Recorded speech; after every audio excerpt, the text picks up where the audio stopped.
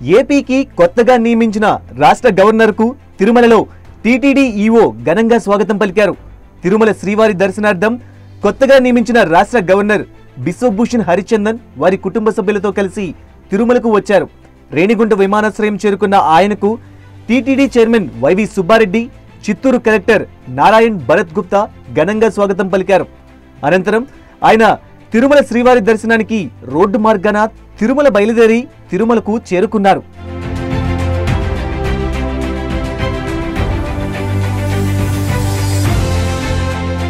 రాష్ట్ర గవర్నర్గా బాధ్యతలు స్వీకరించబోతున్న వేళ ఆయన అధికార నివాసమైన రాజ్భవన్లో అధికారులు ప్రత్యేక ఏర్పాట్లు చేస్తున్నారు. విజయవాడలోని ముఖ్యమంత్రి క్యాంప్ ఆఫీసును రాజ్భవన్గా మార్చారు. సాధారణ పరిపాలన విభాగం అధికారులు ఆయన కార్యాలయాన్ని సందర్శించారు. గవర్నర్ అధికార నివాసంతో పాటు కార్యాలయం కూడా అక్కడే ఉండేలా ఏర్పాటు చేస్తున్నారు. దాంతో అక్కడ పనులు శరవేగంగా జరుగుతున్నాయి.